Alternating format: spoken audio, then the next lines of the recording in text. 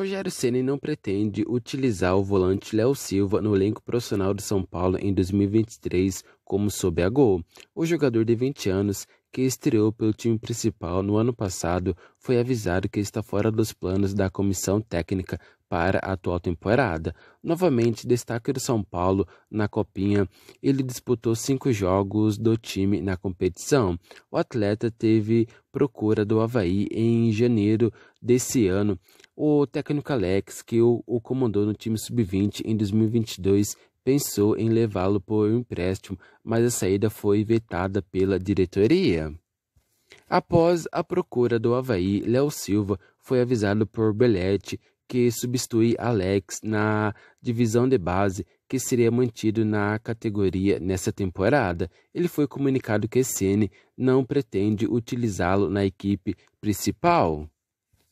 Em que pese a decisão de São Paulo de mantê-lo na base, o volante tem recebido sondagens para atuar em outros clubes do Brasil. Londrina, Portuguesa, Mirassol, Monte Azul e Água Santa avalia a possibilidade de contratar o volante por empréstimo e aguarda um posicionamento do São Paulo sobre o futuro do jogador.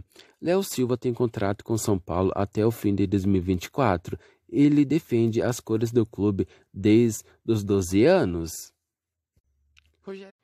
O São Paulo avançou nos bastidores para chegar em um acordo com o staff do atacante Thales Vander, artilheiro do São Paulo na última edição da Copinha no início desse ano, com cinco gols. Elogiado pelo técnico Rogério Ceni, o jogador de 19 anos é visto dentro do São Paulo como uma das opções atuais do sub-20 a serem observadas nos profissionais no Citra Barra Funda.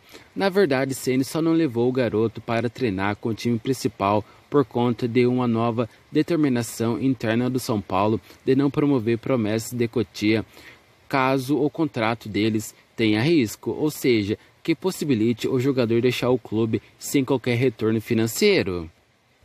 O jogador assinou contrato de cinco anos com o São Paulo quando ainda era menor de idade. Como isso não é reconhecido pela FIFA, o jogador pode rescindir o contrato caso queira. O lance apurou que Thales e seus representantes acertaram bases salariais e tempo do novo contrato a ser oficializado nos próximos dias. O atacante está desde 2018 no São Paulo. O volante Luan de São Paulo foi vítima de racismo em suas redes sociais. O próprio jogador expôs em seu perfil a mensagem recebida de um usuário que o chama de macaco. O agressor se identifica como Vitor Hugo. Na madrugada do último domingo, após a derrota do São Paulo para o São Bernardo em casa pelo Paulistão, Luan publicou em seu stories do Instagram em que dizia não ter tempo para lamentar. Em resposta a Luan, o usuário escreveu: Filho da puta, vai jogar no Ibis macaco. Ao expor o ataque racista, Luan escreveu: tá de tiração, mas não vai passar batido não. Após a denúncia do jogador, o São Paulo fez uma postagem em suas redes sociais em defesa do jogador. No comunicado, além de condenar a atitude, afirmou que está do lado do jogador em busca de uma punição para o caso. O São Paulo repudia firmemente o ataque racista direcionado ao atleta Luan em sua rede social. Nós solidarizamos com o jogador e estaremos ao seu lado na luta para que ocorra as devidas punições. Racistas não são bem-vindos no nosso clube, publicou São Paulo.